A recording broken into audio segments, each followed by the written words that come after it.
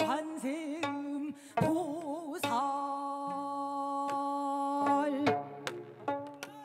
나무왕이 더불관세음 보살 저는 오늘 기쁜 것이 제가 태어난 곳이 등구마을입니다. 그래서 오늘 더 뜻이 깊고 또 많은 분들 정말 고맙습니다.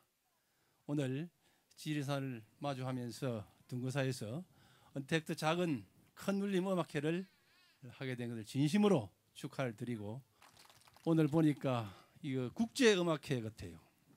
한국, 중국, 몽골 그리고 작은 음악회지만은 큰 음악회 같고 앞으로 오늘 처음 이런 행사를 가졌지만은 우리 함양에 많이 오셔서 또 이 큰 음악회를 정말 열어주시기를 부탁을 드리겠습니다. 이 올해가 6.25 70주년 되는 날인데 희생해 진 모든 분들 영령에게 어, 왕생극락을 발언하며 특히 오늘 이렇게 비보정찰에 이런 메아리가 퍼져서 어, 삼천리 강산에 울려 퍼져서 남북 통일을 기원하는 특히 평화 통일을 기원하는 데 발언을 드리고 싶습니다.